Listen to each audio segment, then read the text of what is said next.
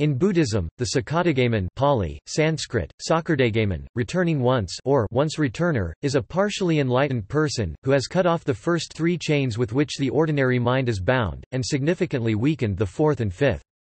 Sakadagaminship is the second stage of the four stages of enlightenment. The Sakadagamin will be reborn into the realm of the senses at most once more. If, however, he attains the next stage of enlightenment in this life, he will not come back to this world.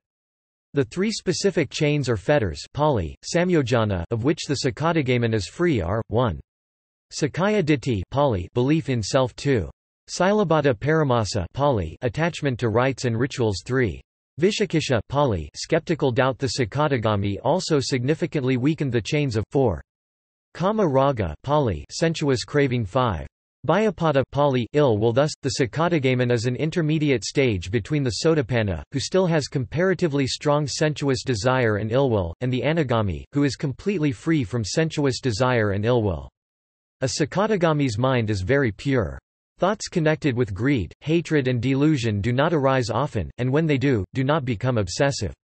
Topic see also Four stages of enlightenment fetters Buddhism topic Notes topic Sources Rhys Davids, T. W. and William Stede eds. 1921-5. The Pali Text Society's Pali-English Dictionary. Chipstead, Pali Text Society. A general online search engine for the PED is available at http dsal.uchicago.edu dictionaries pali